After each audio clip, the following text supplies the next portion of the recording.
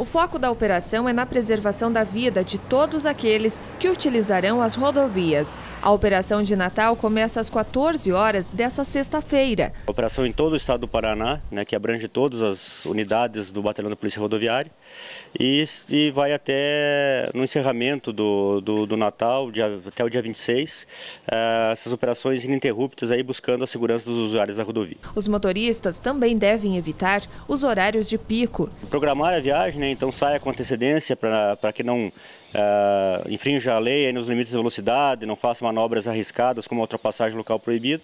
Nós sabemos que as nossas rodovias têm poucos locais para ultrapassagem, então a programação da viagem é essencial.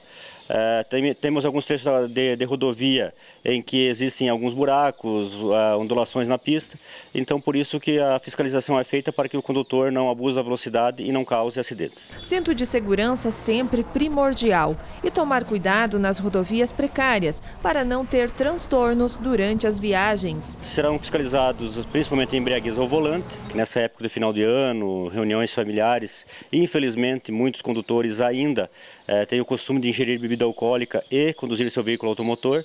Então será intensificado a operação com um bafômetro, operação radar, as ultrapassagens em local proibido também serão fiscalizadas e, e, as outras situações básicas de trânsito, cinto de segurança, cadeirinha quando há necessidade, cadeirinha ou assento de elevação.